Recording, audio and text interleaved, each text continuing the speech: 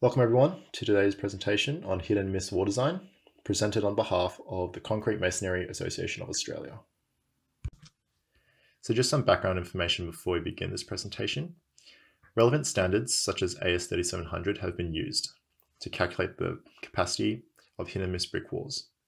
Some slight modifications have been made to these equations and we will go through these later on in this presentation. We'll also look at some common failure mechanisms in hit and miss brick walls, such as stepped and line failures. We will also look at some of the research that the University of Newcastle did with regards to preliminary flexural testing of hit and miss walls. Hit and miss brick walls currently fall outside the scope of AS 3700. This is because the masonry provision stated in AS 3700 accounts for all of their perpen joints completely filled. Hit and miss brick walls don't have any vertical perpen joints, and thus modifications must be made to the calculation process stated in AS 3700. Here we have a hit and miss brick wall on the left and a stretcher bonded wall on the right. As you can see, there are a couple of differences between the two walling systems. Firstly, there are no vertical perpen joints in the hit and miss brick wall, while in stretcher bonded wall, the vertical joints are completely filled. Secondly, there is a void between the horizontal mortar joints in the hit and miss brick wall, while in the stretcher bonded wall, the horizontal mortar joints are completely filled. As a result, modifications must be made to the calculations stated in AS 3700. It is common practice to design hit and miss walls as non-load bearing. However, they still must provide enough stability for other small loads, such as wind loads. They must be supported on at least three sides. Both stepped and line failure need to be considered for both small and larger overlaps. Allowable unit overlap will be affected by parameters which also affect the wall slenderness and bond strength. The section modulus of the resulting bedded area will account for the effect that the amount of unit overlap will have on the resulting bending capacity. In order to provide additional strength, designers divide the desired wall area into smaller sections and then support each section at horizontal and vertical interfaces using bond beams or engaged piers. The University of Newcastle conducted testing on hit and miss wall systems to determine how well AS 3700 predicts the wall's behavior. The results were inconclusive. However, they do indicate good engineering judgment because the clauses for bending can be modified to accommodate and predict the capacity of hit and miss walls. Here's a test setup done by the University of Newcastle. Figure A shows a schematic elevation of the test setup. A steel angle airbag surrounds the frame while an airbag is placed in front of the brick wall. A plywood reaction board is placed in front of the airbag to determine the displacement of the brick wall under load. Figures B and Figures C represent vertical bending and horizontal bending respectively. In the next few slides, we'll be going through an example that runs through the calculation of horizontal bending capacity and shear capacity of hit and miss walls.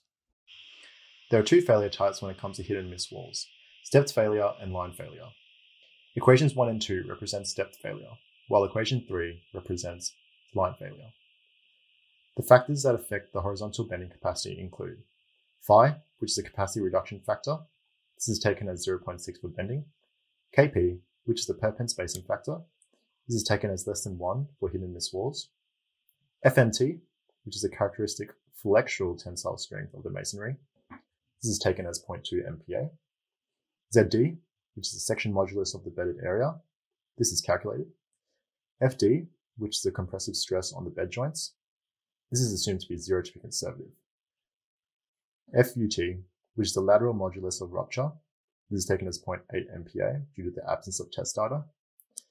ZU, which is the section modulus of the units. This is calculated. And finally, ZP, which is the section modulus of the perpens. Since there are no perpen joints in hit and miss walls, this can be taken as zero. While the perpen spacing factor Kp is commonly taken as 0.6 for hit and miss walls, Kp must be calculated with respect to the problem at hand. Thus, Kp is taken as the least of the unit overlap over the thickness of the unit, or unit overlap over the height of the unit, or 1. For example, a wall with units overlapped of 70 mm, 110 mm thick, and 76 mm high Kp is calculated to be 0.64. Next, the section modulus of the bedded area ZD is calculated.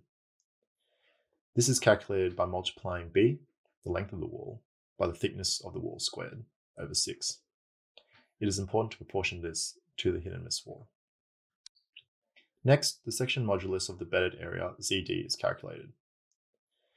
This is calculated by multiplying b, the length of the wall, by the thickness of the wall squared over 6. It is important to proportion this. Next, we calculate the amount of filled bed joints for the hit and miss wall over a 1 meter length. This is calculated to be 460 millimeters at each course. Next, we calculate the bedding ratio between the hit and miss wall and the solid wall. This is calculated to be 0.46. Next, we calculate section modulus for the hit and miss wall. This is calculated by multiplying the section modulus of the bedded area for the solid wall by the bedding ratio. This is calculated to be 9.28 times 10 to the 5 millimeter cubed per meter run. Next, we calculate the horizontal bending capacity for the hit and miss brick wall to be taken as the minimum of the three equations, as stated in the previous slides. It was calculated that the first equation, which represents stepped failure, to have the lowest value of 0.319 kilonewton meters. The shear capacity for masonry walls is calculated by combining shear bond and shear friction, which includes self-weight and any dead load. The factors affecting the out-of-plane shear capacity for a horizontal plate include phi, which is the capacity reduction factor. This is taken as 0.6 for unreinforced masonry shear. FMS, which is the characteristic shear strength of the masonry. This is taken as 0.25 megapascals for horizontal shear. AD, which is the design cross-sectional area.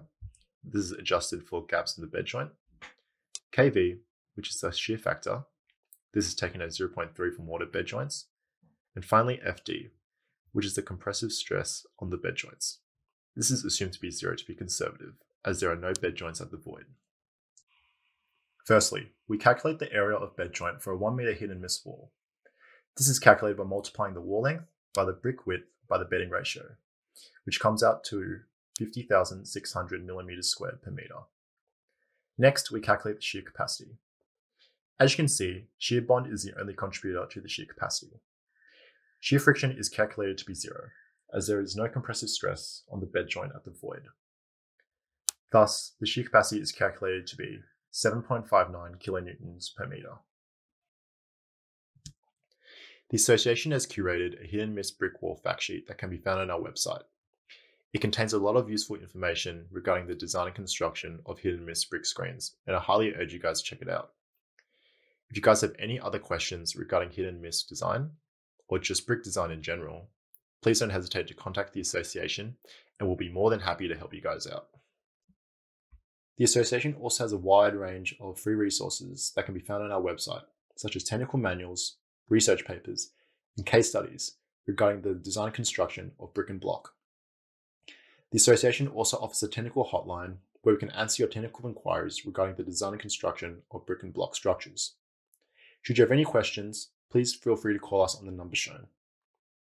This concludes today's presentation on hit and miss wall design. Thank you for your time, and we hope you enjoyed today's presentation.